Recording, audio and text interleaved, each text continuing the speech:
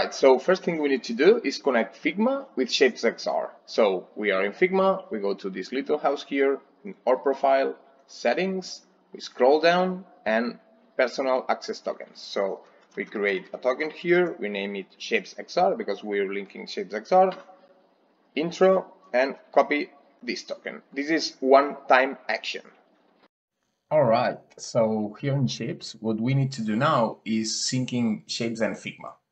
So what we do is we go to My Files, click on Upload, Figma Import, and now Shapes is asking us for the token, the one we just created. So we paste the token here and sync. Shapes did that because it was the first time. So now we can import from here, but if we do again, it's not asking for the for the token anymore, but for the link. So now what we need to do is go into Figma and get the link. Once in Figma, we go to the group or frame we want to import to shapes. We go there, this one for instance, we go right click and copy link. All right, so back to shapes, we already have the link that from, from the, the frame that we want to import here. So we go here and paste the link, click import. So now, here it is. This is our Figma frame already in Shapes XR. Another uh, quicker way to, to import is just going here and click Control V. So the, the import will, will get here as well.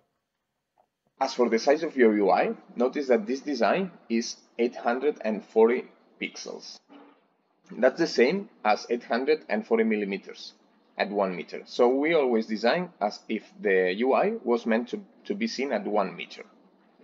All right, so we are in shapes now. So the first thing we need to do is we open the menu, go to settings, and put the snapping steps to 50. Make sure that the snappings are uh, set as uh, to 50 centimeters.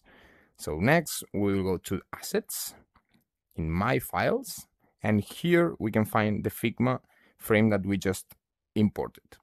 So we click on it and we mark it as UI. This option here, this toggle, activated. So now this the scale factor is one.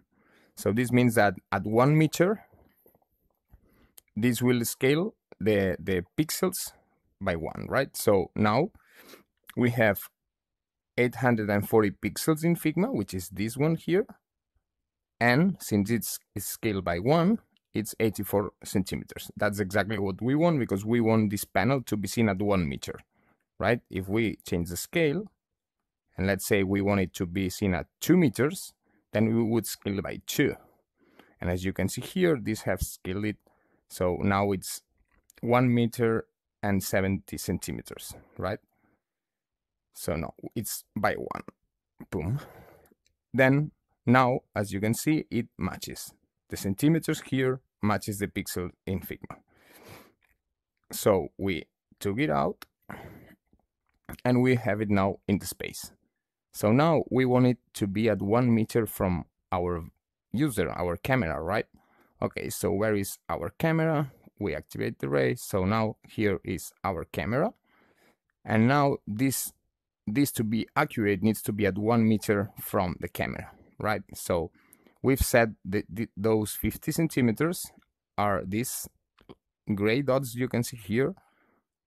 Between them, there are 15 50 centimeters. So that's 50, 50, 50, 50. So it's, we've said one meter, 50, 50, one meter. That's one meter distance from the, the view, from our camera mostly. So we can pull it a little bit down and we go to the camera. And here it is. So here's exactly how the UI will look. The size, the scale, the distance you can feel here okay, it's too close, maybe I need to adjust some buttons, some sizes, some text, and so on. So now you can continue working on Figma using the one meter rule. And that's pretty much it. So if you, let's say you want this to be at two meters instead of one, you don't really need to do anything in Figma. Figma remains the same. But this as I said before, you will go here and say, no, it's 2. We remove this one, and put this out. Okay, so now as you can see, it's bigger. So now we want two meters. So it's one, 50, one meter, 52 meters. And then we would go here and that's the how it would look at two meters.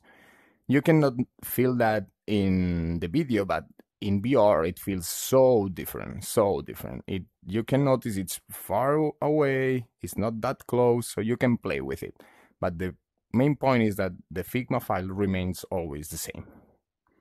And that's pretty much it.